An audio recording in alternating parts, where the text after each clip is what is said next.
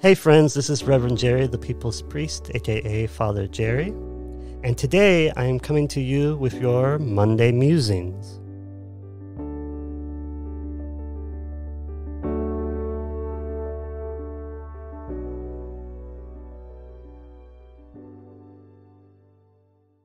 So, a year ago, I had this very vivid dream where I was in the midst of a storm, but instead of rain, people were falling out of the sky.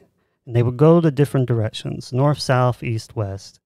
And in the midst of the dream, I realized all of these folks were medicine people.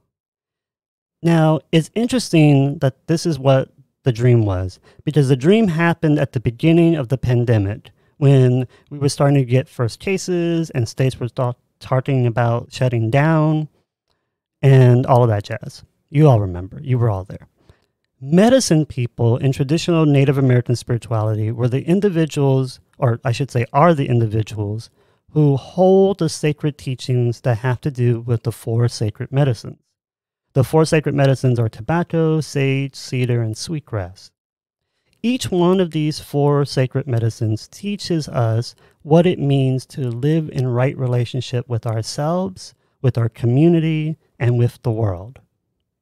I think it's very important that this dream happened at the beginning of the pandemic because what I have learned in discerning and praying about this dream is that we need in our society more people who actively live in ways that are wise, that are intentional, that are, are holistic, and that inspire us to be people who heal and liberate.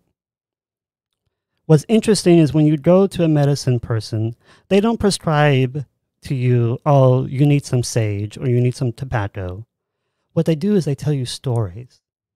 They tell you stories about what has gone on in their life, lessons that they've learned, lessons that are ancient lessons that have been passed on from generations to generations through the elders, or they might give you a task to do. And the whole purpose is that in our Western understanding of medicine, we are told that you have to take a pill, you have to take a shot, and all that's important. But that's not the only avenue that we need to go about in living a holistic life. We need to take our vaccines, we need to take our pills, we need to do all of that. That's essential for living a holistic life.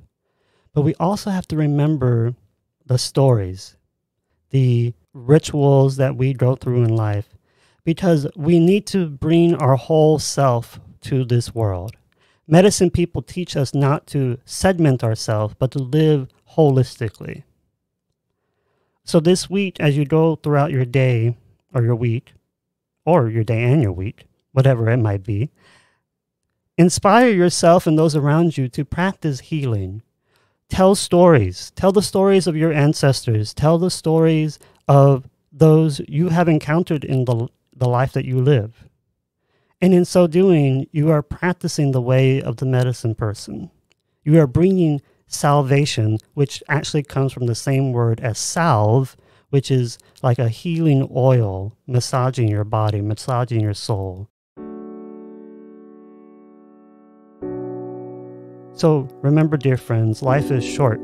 We do not have much time to gladden the hearts of those who journey with us.